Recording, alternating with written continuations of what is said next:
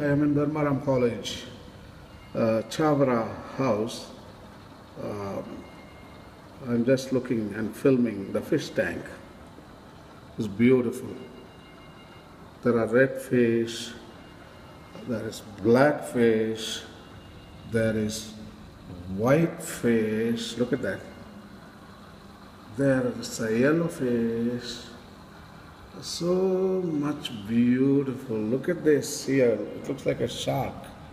Doesn't move much, but he looks pretty. Look at the blackfish. He's sailing and he's looking at me and, and he's afraid, but it's beautiful. Look at that. Look at the green, red fish.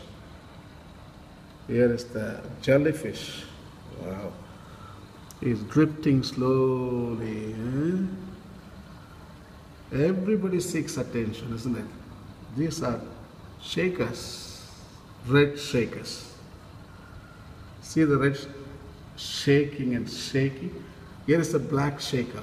Ah. The red shaker is really marvelous. Look at the fins. Look at the jellyfish.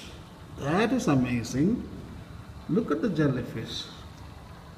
Ooh, look at the red fish. They don't want to. They hide the jellyfish. Just I want to get the jellyfish there. Look at the red shaker. Look at the black shakers. Look all of them.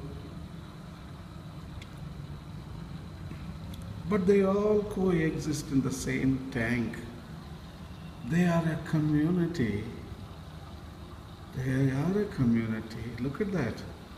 Even though they belong to different uh, species, they learned to cohabit.